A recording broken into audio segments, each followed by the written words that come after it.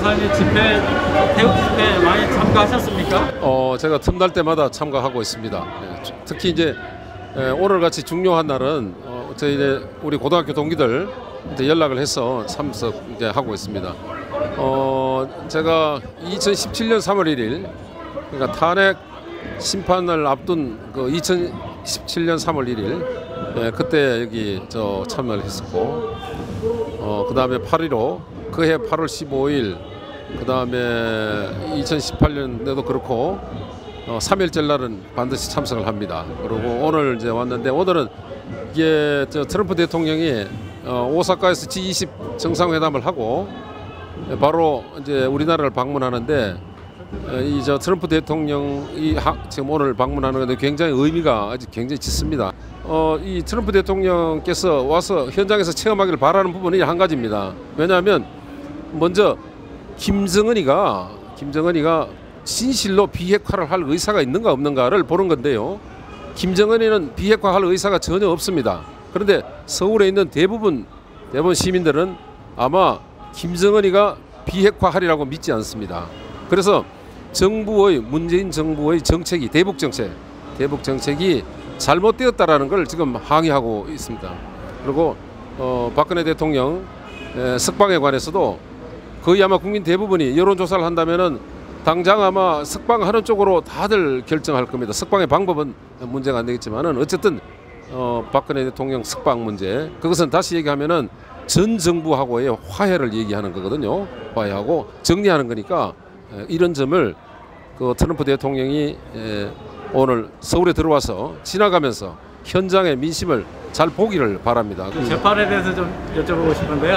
아 예, 그 재판은 어, 선고가 아마 예, 예, 결심을 결심을 했으니까 아마 제 예측으로는 2000 어, 7월 달 안에 7월 중에 선고가 있을 것으로 그렇게 생각합니다. 그럼 최소한 피고인하고 대통령 다 가는 아 같습니다. 네, 예. 그러니까 어, 이른바 이제 그 최서원 게이트 사건의 그 어, 중요 사- 사건들이 다 선고를 하게 될 겁니다. 네, 음.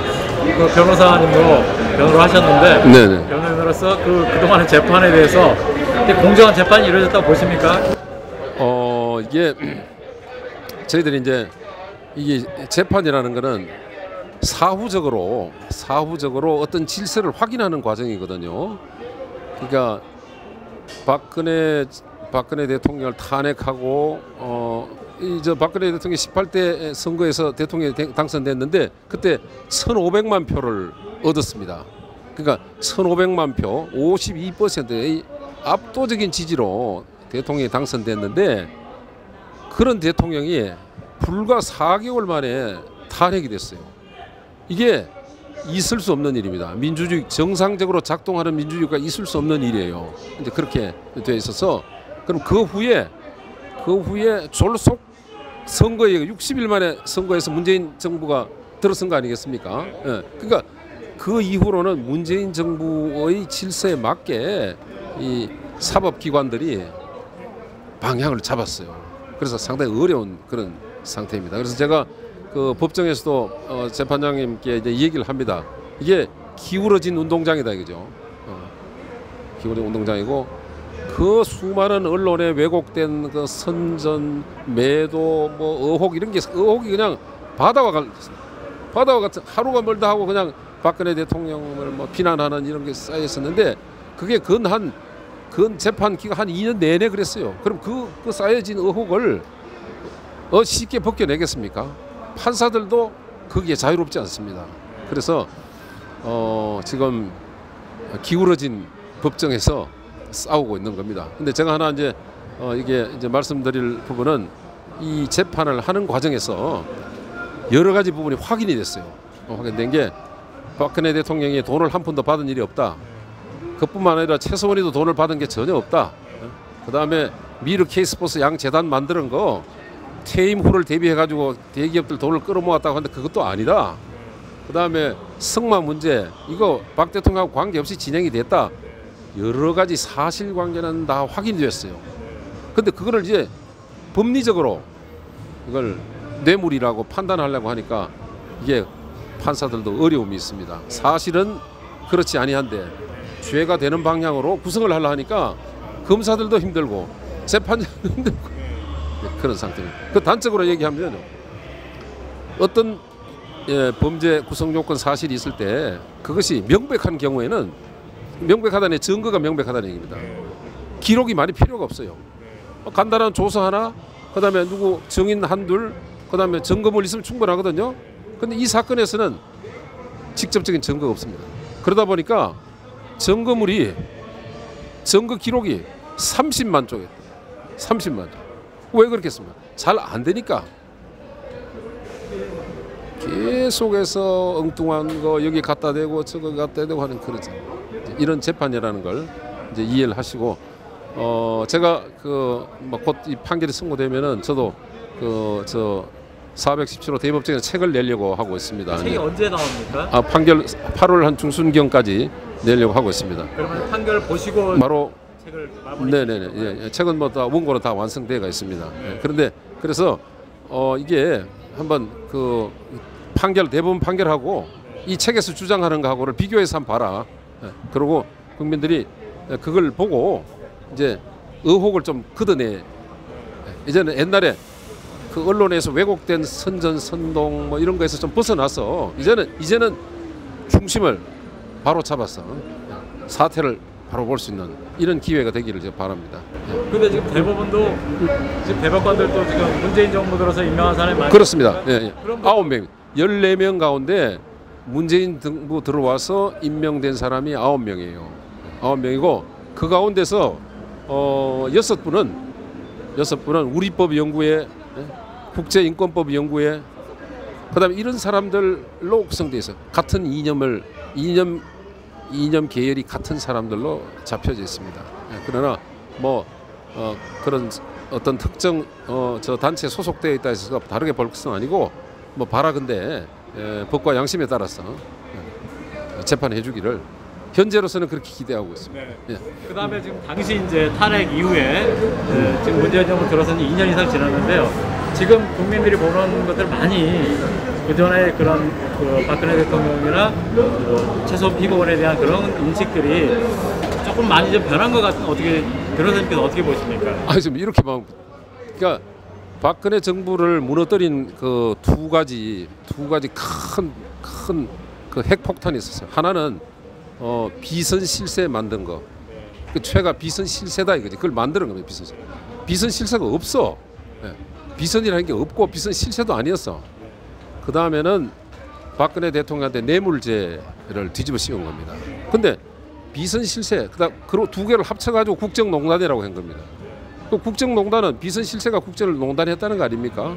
그, 그럼 그 비선 실세는 대통령을 제껴놓고 자기가 대통령의 권한을 행사했다는 이런 얘기인데 그게 없다고 실체가 없는 없- 없는 없는 얘기지. 그렇게 만드는 거예요. 그러니까 그러면은 저 뭐 최소원이가 국회의원 공천을 한 적이 있습니까? 공천에 개입한 적이 있나? 그 다음에 은행에서 대규모 대출에 관여한 적이 있나? 경제 정책의 방향을 틀은 적이 있나? 기껏 했다는 게 자기가 아는 사람 뭐 이 사람이 괜찮다고 하니까 김종덕 장관이라고 있습니다. 그 추천한 거, 차은택이 추천한 거, 그 추천도 정호성한테 얘기한 거, 그게 전부 다야. 근데 그걸 가지고 어떻게 어? 국정을 대통령의 권한을 행사했다고 했냐 이게 전부 정말로 그냥 그 과장의 과장 이, 이거 이걸 이제 보여주는 거죠. 그러니까 국정농단 이거는 그 박 정부를 무너뜨리기 위한 그러니까 이 프레임 이게 흑우 프레임이죠. 그걸 만들어 가지고 그 그물 속에 갇혀 버린 겁니다. 근데 그때 언론에 의해서 이런 부분들이 의혹 그게 관련되는 의혹들을 전부 풀려 가지고 국민들이 다 그게 아 이거 말이지 그 선전 선동의 가장 결정적인 방법이 태블릿 PC였단 말이죠. 태블릿 PC고 잘 알지 않습니까? JTBC 처음 뭐 최소원에 나오고 뭐 이거 연필 어? 다 가지고 이거 아마 저 세계 아마 이 저 선전 역사에 기록될 겁니다. 그 대해서 이제 그 재판에서 말씀해 주셨고요. 예. 네, 태블릿 PC 문제를 좀 여쭤보겠습니다. 그 그때 당시에 이제 재판장이 그걸 바- 그 감정을 받아들였지 않습니까? 그렇습니다. 네. 그때 그게 받아낼 수 있었던 건 어, 어떤 어떻게 아 이게요. 이건 내가 참 정말로 예를 들면 우리가 검사가 겨- 경찰서 형사가 이 저 그 남의 핸드백을 훔쳐간 범인을 잡았다 합시다. 그럼 범인 보고 너 핸드백 훔쳤지? 나 안 훔쳤다고. 야 너 훔친 게 맞다 이거야. 그러면 이 사람이 아, 어느 걸 내가 훔쳤다고 그러냐 하면은 그 범인한테 핸드백을 보여줘야 돼. 야 이거 아니냐 말이야. 어? 너 집에서 압수를 했다. 어? 그걸 보여줘야 돼요. 그는 아주 기본 중에 기본이라고. 근데 최서원에 대해서는 내가 옆에서 그 태블릿 PC 최가 썼다고 하는데 제발 좀 보여줘 봐라. 보여줘 봐라 그랬어. 그 보여주고 이것을 네가 쓴 거 아니냐. 아, 그렇게 질문을 하라 이거야. 그걸 안 했다니까. 근데 안 해서 그 검찰에서 안 보여 안 보여준 거지. 아, 그럼 안 보여줘. 변호사님이 이제 재판할 때 아니, 법정에- 감정을? 아니 바로 내가 재판 하자마자 바로 그랬어. 이거 태블릿 PC를 제출 받아야 된다. 감정해야 된다고. 그럼 뭐 검찰에서 그걸 왜 하냐고 말이야 반대하고 그래 그래서 판사가 이 결정을 안 해서 보류를 했다고. 그러니까 1심 재판이 거의 끝내갈 무렵 1년이 넘어가지고 그제서 감정 채택을 한 겁니다. 그 법정에서 1년 여 후에 검찰 보고 태블릿 PC 제출하라 했던 겁니다. 법정에서 처음 봤다니까. 그 이, 이게 이게 있을 법한 일입니까? 근데 그걸 참 받아낸 건 대단히 현재 그 재판을 아니, 그- 큰 성과를 보는데요. 아, 그 그거는 얘기 이거 만약에 이 저 국정농단자라고 중형을 선고할 텐데 국정농단에 따르는 실물 태블릿 안 보여주고 형 선고할 수 있나 이거야. 그 판사가 그거에 대해서는 나중에 그것도 안 하고 만약 중형을 선고했다 하면 어떻게 되겠습니까? 이 판사는 눈 감고 재판하는 것밖에 안 된다고 마지 못해 한 거예요. 졸 지금 그 변희재 1심 재판에서 또 감정을 요구했지 않습니까? 증인 채택. 근데 그런 것도 하나 지금 받아들이지 않았거든요. 그 부분은 어떻게 생각하십니까? 아 근데 아마 최근에 그 정식으로 채택은 안 했는데 아마 아마 해야 할 겁니다. 관련되는 정의를 채택해야 될 거예요. 예, 해야 될 거고 그 다음에 이제 예, 그 저희 재판 그러니까 최소원 재판하는 과정에서 태블릿 PC에 상당한 의혹 부분 다 걷어내졌어요. 왜냐하면 최가 사용한 것이 아니다. 여러 사람이 사용했다. 어, 그다음 이런 것들 다 밝혀졌는데 이제 문제는 이거예요. 그러면 이 태블릿 PC를 JTBC가 어떻게 가져갔느냐네요. 이 검사가 조사를 해야 돼. 예? 그럼 조사를 안 했다고. 그 부분이 남아 있어 지금. 어떻게 그거를 그러니까- 검찰, 검찰에 간그 어, 경위를 얘기하시는 아니, 검찰에 간 거는 이제 됐으니까. 네네. JTBC가 WK에 가가지고 이 태블릿 가져왔다고 그랬거든요. 그러면은 WK의 빈 책상 속에 태블릿 PC가 있다는 걸 어떻게 알았느냐 이거야. 그 누가 거기를 가라 했느냐. 이게 내가 조사하라 했어요. 검사 보고도 해야 되는 거라.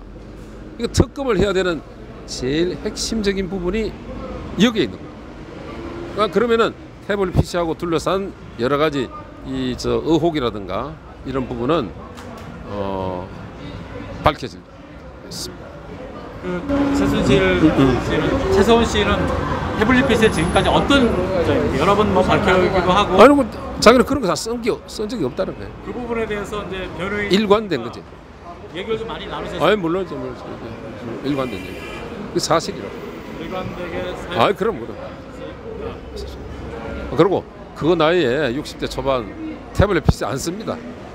핸드폰도 뭐 잘 쓸까 말까 뭐 하고 이런데 하겠습니까? 상식에 관한 얘기지. 그래 그거 뭐 그거 별로 의미가 없어요. 왜냐하면 그 시기에 독일에 독일에 간 위치 추적 GPS 정보가 있는데 아 그거야 그 태블릿 PC를 태블 갖고 있었던 사람이 거기 가 있으면 그게 나오는 거예요. 그렇죠. 그러면 최가 가지고 있다고 그러면 그 두 개만 나오나? 항상 뭐 어디 쓴 게 다 나와야지. 말이 안 되는 거죠.